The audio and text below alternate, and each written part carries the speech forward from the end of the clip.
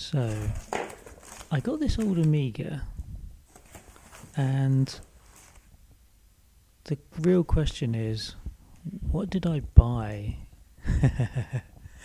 What's in here? Is it going to work? We got a bunch of games. We got an Amiga, so that's a good sign. A couple of power supplies, quite a few peripherals. Uh, quite a, quite a lot to dig through, so it should be fun to see what we've got.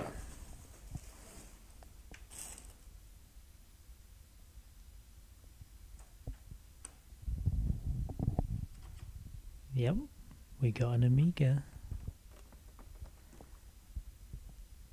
Question 1. Will it explode with one of the power supplies? Will it do anything? Will the magic smoke escape? Hmm. No real sign of life. But you know, maybe a bit of fiddling with the cables. And it lives.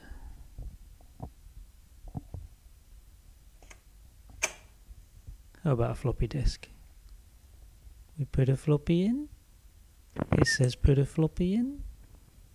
Nothing happens. Well, what about if we turn it off and on again? That's always a good plan, right? Right? Right.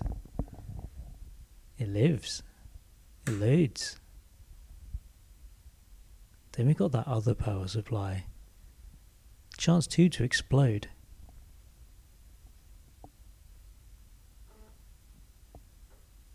Or it works. Have I bunched, bought a bunch of fully working stuff?